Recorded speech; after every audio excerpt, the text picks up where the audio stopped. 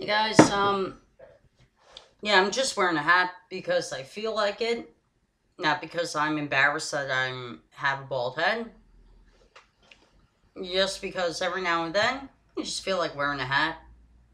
So, um, I just seen a great video by Comic Book Girl 19, and she labeled the video why being honest about Ghostbusters is important.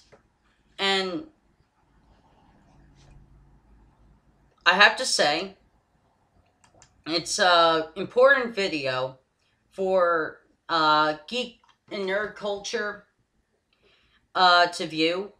And um, I don't really show my geeky and nerdy side on this channel because if you follow my channel and if you know me personally, I'm a political junkie. I um I I I find talking about movies is a hobby of mine, uh, but talking about politics is more important because movies don't affect my life, but politics does.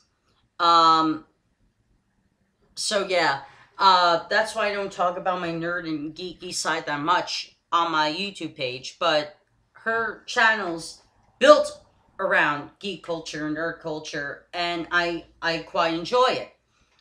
And um, but this video is really important to watch. I'll have it linked in the description down below, and um, please watch it. Um, doesn't matter if you've seen Ghostbusters or not.